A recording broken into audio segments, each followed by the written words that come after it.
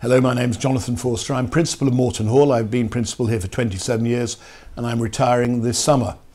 Uh, I'm looking at a few aspects of education and one that's just come up in the TES is the suggestion that exams are becoming increasingly irrelevant.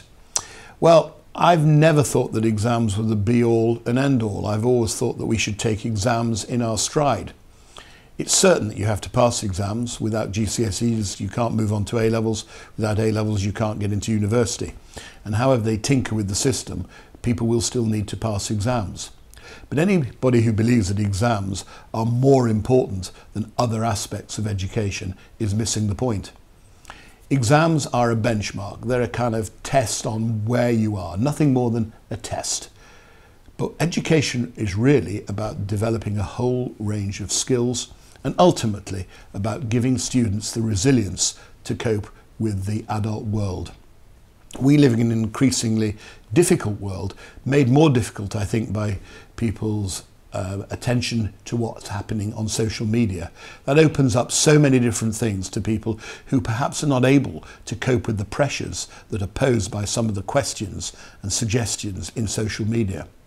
So we need to train young people up to be able to analyze what they see on social media. And education is all about an, uh, analyzing, all about analysis.